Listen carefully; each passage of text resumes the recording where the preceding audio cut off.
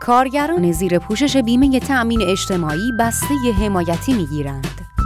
نوسان ارز، افزایش یکباری قیمت کالاهای مصرفی و کاهش توان خرید مردم در ماهای گذشته دولت را بران داشت تا حمایت از اخشار آسیب پذیر را در اولویت برنامه های خود قرار دهد. دولت به منظور یاری رسانی به مردم در عبور از تنگنای معیشتی پنج بسته حمایتی ضد تحریم در نظر گرفت. در چارچوب این طرح قشرهای آسیب پذیر و زیر پوشش نهادهای حمایتی و افرادی که حقوق ماهیانه آنان کمتر از 3 میلیون تومان است مشمول دریافت طرح بسته حمایتی دولت و سبد کالای 97 قرار گرفتند.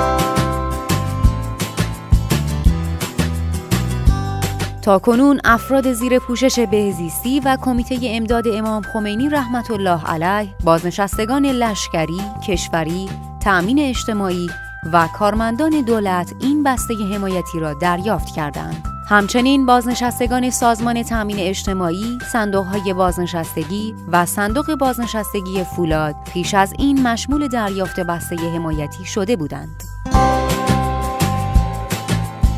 اکنون نوبت به کارگران زیر پوشش بیمه تأمین اجتماعی رسیده تا از روز شنبه 29 دی ماه در زمره مشمولان دریافت بسته حمایتی دولت قرار بگیرند. همچنین از ششم بهمن 97 100 هزار نفر از بازنشستگان روستایی نیز بسته حمایتی دریافت می کنند.